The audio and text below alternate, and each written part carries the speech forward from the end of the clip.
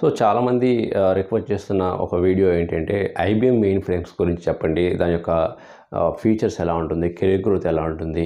In case నేను IBM mainframe developer అవ్వాలంటే ఎలాంటి స్కిల్స్ వచ్చి ఉండాలి? మెయిన్ ఫ్రేమ్ డెవలపర్గా కొంత ఎక్స్పీరియన్స్ వచ్చిన తర్వాత వేరే టెక్నాలజీకి స్విచ్ అవ్వచ్చా లేదా? ఈ మెయిన్ ఫ్రేమ్ టెక్నాలజీని ఎలాంటి ప్రాజెక్ట్స్కి ఎక్కువగా యూజ్ చేస్తారు? మెయిన్ ఫ్రేమ్ టెక్నాలజీస్ నేర్చుకోవడం ఈజీనా కాదా?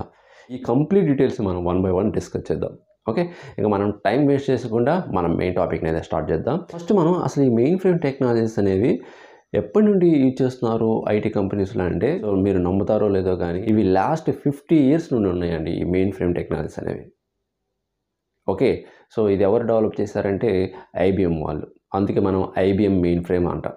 ఈ మెయిన్ ఫ్రేమ్ టెక్నాలజీ ఎంత ఓల్డ్ టెక్నాలజీ అయినా కూడా మరి ఇప్పటికీ ఇంకా ఐటీ ఇండస్ట్రీలో ఎలాంటి ప్రాజెక్ట్స్ని ఇంప్లిమెంట్ చేస్తున్నారు అంటే banking domains. Banking projects insurance projects and government projects. Okay present కొన్ని క్రెడిట్ కార్డు రిలేటెడ్ ప్రాజెక్ట్స్ కూడా ఈ మెయిన్ ఫ్రేమ్స్ యూజ్ చేసి చేస్తున్నారండి. ఎందుకు అంటే దానికి రీజన్ ఏంటంటే ఇది మంచి రిలయబుల్గా ఉంటుంది అండ్ సెక్యూరిటీ కూడా ప్రొవైడ్ చేస్తుంది. మీకు ఒక డౌట్ రావచ్చు. మరి ఎందుకు రీప్లేస్ చేయలేదు మెయిన్ ఫ్రేమ్ని వేరే టెక్నాలజీలోకి న్యూ టెక్నాలజీలోకి అంటే? సో మెయిన్ ఫ్రేమ్ లాంటి సెటప్ అండ్ దాని లాంటి ఎన్విరాన్మెంట్ దాని లాంటి టెక్నాలజీ సపోర్ట్ చేసి రిలయబుల్ది ఇంకొక ఆల్టర్నేట్ టెక్నాలజీస్ అనేది కొంచెం కష్టంగా ఉన్నాయి రీప్లేస్ చేయడానికి. ఓకే సో అందువల్ల అంత త్వరగా అయితే రీప్లేస్ కావు. ఎప్పుడైతే దీనికి పర్ఫెక్ట్గా మ్యాచ్ అవుతుందో పర్ఫెక్ట్ ఆల్టర్నేటివ్ టెక్నాలజీ దొరుకుతుందో అప్పుడు కంపెనీస్ అప్పుడు కన్ఫామ్గా ఈ మెయిన్ ఫ్రేమ్ ప్లేస్లో వేరే టెక్నాలజీ ఆల్టర్నేట్ టెక్నాలజీస్ కన్ఫామ్గా యూజ్ చేస్తారు. Still banking projects and insurance projects use చేస్తున్న టెక్నాలజీ ఐబిఎం మెయిన్ ఫ్రేమ్ అండి. ఓకే మరి ఇవి జాబ్ ఓపెనింగ్స్ ఎలా ఉంటాయి? దీని యొక్క ఫీచర్ స్కోప్ ఎలా ఉంటుంది? కెరీర్ గ్రోత్ ఎలా ఉంటుందో? మీకు డౌట్ రావచ్చు. ఫ్రేమ్ డెవలపర్ జాబ్ ఓపెనింగ్స్ అనేవి అన్ని కంపెనీస్లో ఎక్కువగా ఉండవండి. చెప్పాను కదా ఆల్రెడీ ఎలాంటి ప్రాజెక్ట్స్ చేస్తారంటే ఎవరైతే banking projects and insurance projects and some government related projects చేస్తుంటారో అలాంటి కంపెనీసే ఈ మెయిన్ ఫ్రేమ్ డెవలపర్స్ని హైర్ చేసుకుంటాయండి. వీటిలో కూడా టూ జాబ్ ఓపెనింగ్స్ ఉంటాయండి. Like mainframe developer and supporting developer. ఒకటి developer side mainframe developer. ఇంకోటి సపోర్ట్ చేసే రోల్.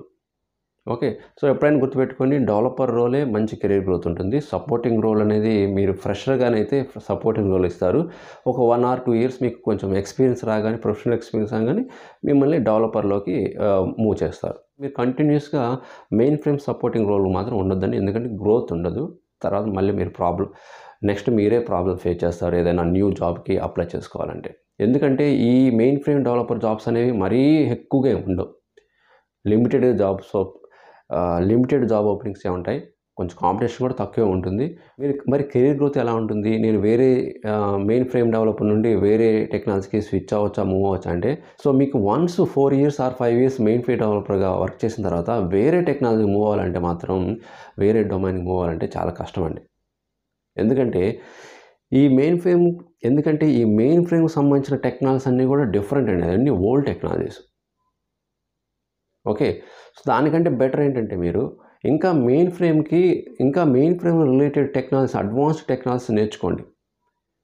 ఓకే. అప్పుడు దాంట్లోనే కెరీర్ గ్రోత్ చూసుకోండి. అంతేగాని దాంట్లోనే స్కోప్ ఫ్యూచర్ స్కోప్ ఉంటుంది. ఓకే. సో ఇది మరి ఎన్ని సంవత్సరాలు ఉంటుంది? ఇంకా నెక్స్ట్ టెన్ ఇయర్స్ వరకు ఉంటుందా అంటే అది మనం చెప్పలేమండి. ఎందుకంటే లాస్ట్ టెన్ ఇయర్స్ నుండి కూడా చాలామంది అంటున్న విషయం ఏంటంటే ఇంకా మెయిన్ ఫ్రేమ్ టెక్నాలజీస్ ఉండవు. ఇంకా ఇది ఐటీ ఇండస్ట్రీలో ఉండదు. అని చాలామంది అంటూ ఉన్నారు. ఎప్పుడు లాస్ట్ ఫిఫ్టీన్ ఇయర్స్ నుండి ఆర్ లాస్ట్ టెన్ ఇయర్స్ నుండి. బట్ ఓపెనింగ్స్ అట్లానే కంటిన్యూగానే ఉన్నాయి. ఓకే ఆ హైరింగ్ జరుగుతూనే ఉంది. Okay banking projects insurance projects credit card projects government projects ఇవన్నీ కూడా ఇంకా IBM mainframe technology use చేసి వాటిని ఇంప్లిమెంట్ చేస్తున్నారు. అండ్ ఐబీఎం మెయిన్ ఫ్రేమ్ నుండే సర్వీస్ కూడా ఇస్తున్నారు ఈ ప్రాజెక్ట్స్ అన్నిటికి కూడా. ఓకే కానీ ఎక్కడ కూడా కానీ ఎక్కడ కూడా ఈ మెయిన్ ఫ్రేమ్ టెక్నాలజీస్ అనేది ఇంక ఉండదు. ఐటీ ఇండస్ట్రీలో మాత్రం ఎక్కడ లేదండి. అలా చాలామంది అంటుంటారు దానికి గ్రోత్ ఉండదని. కానీ కంటిన్యూగా ఉంటుందండి. ఇది చాలా సంవత్సరాల నుంచి వింటూనే ఉన్నాం. ఇంకుండదు మెయిన్ ఫ్రేమ్ టెక్నాలజీ. కానీ అది యూజ్ చేస్తూనే ఉన్నారు. కానీ కంపెనీస్ మాత్రం ఈ ఐబీఎం మెయిన్ ఫ్రేమ్ యూజ్ చేస్తున్నారు. ఎందుకంటే దానికి రీప్లేస్ కరెక్ట్ రీప్లేస్ టెక్నాలజీ అనేది దొరకలేదు ఇంతవరకు. సో నా సజెషన్ ఏంటంటే దీనికైతే హ్యూజ్ ఓపెనింగ్స్ అయితే ఉండవు. లిమిటెడ్ ఓపెనింగ్స్ ఏ ఉంటాయి. ఓకే? బట్ కెరీర్ గ్రోత్ అయితే మాత్రం ఇప్పటివరకు next five to eight years అయితే ఇబ్బంది లేదు. మరి ఈ మెయిన్ ఫ్రేమ్ డెవలప్ రావడం ఈజీనా? ఓకే ఏమైనా ప్రోగ్రామింగ్ లాంగ్వేజ్ నేర్చుకోవాలా okay how to become mainframe developer అని మీకు డౌట్ రావచ్చు. సో దీనికి స్పెషల్గా ఇవన్నీ డిఫరెంట్ టెక్నాలజీస్ అండి. చాలా ఓల్డ్ టెక్నాలజీస్ మీరు నేర్చుకోవాల్సింది లైక్ కోబాల్ అని ఉంటుంది. కామన్ బిజినెస్ ఓరియంటెడ్ లాంగ్వేజ్ అండి కోబాల్. ఇది కన్ఫామ్గా నేర్చుకోవాలండి కోబాల్. దాంతోపాటు ఇంకోటి జేసీఎల్ అని ఉంటుంది job control language. Next third ఏంటంటే ఒక డేటాబేస్ నేర్చుకోవాలి డీబీ టూ డీబీ టూ ఎక్కువగా ఇచ్చేస్తారు. అండ్ థర్డ్ ఏంటంటే సిఏసిఎస్. ఇది కానీ ఇది అడ్వాన్స్డ్ టెక్నాలజీ అండి మైండ్ ఫ్రెండ్ డెవలపర్కి. ఇది నేర్చుకుంటే మీకు కెరీర్ గ్రోత్ కూడా ఉంటుంది ఫ్యూచర్ స్కోప్ కూడా ఉంటుంది. సిఎస్సిఎస్ అంటే customer information and control system.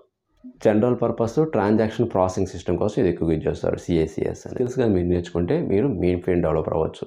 ఇంకా అడిషనల్గా మీరు సెకండరీ స్కిల్స్ మీకు లైక్ సెకండరీ స్కిల్స్గా మీకు నాలెడ్జ్ ఏదైనా programming language specially Java programming language basic knowledge వస్తే ఇంకా చాలా యాడెడ్ అడ్వాంటేజ్ అండ్ వీటితో పాటు ఏదైనా scripting language and agile methodology అని ఇలాగా కొన్ని టూల్స్ ఇవన్నీ నేర్చుకుంటే మీకు ఎంతో హెల్ప్ అవుతాయి. అవి కూడా యూజ్ చేస్తారు మీరు రియల్ టైంలో జాబ్స్ కూడా ఈ జాబ్స్ కూడా ఎలాంటి కంపెనీస్లో ఉంటాయంటే బిగ్ ఆర్గనైజేషన్లు ఉంటాయి టాప్ ఎంఎన్సీ కంపెనీస్లోనే ఈ mainframe developer job openings ఉంటాయి. అన్ని కంపెనీస్లో వీళ్ళు అన్ని కంపెనీస్లో మీకు ఈ జాబ్ పొజిషన్స్ అనేవి ఓపెనింగ్స్ అయితే ఉండవు. సో దట్స్ ఆల్ గైస్ మైండ్ మీకైతే ఇన్ఫర్మేషన్ చాలా హెల్ప్ఫుల్ అనుకుంటున్నాను.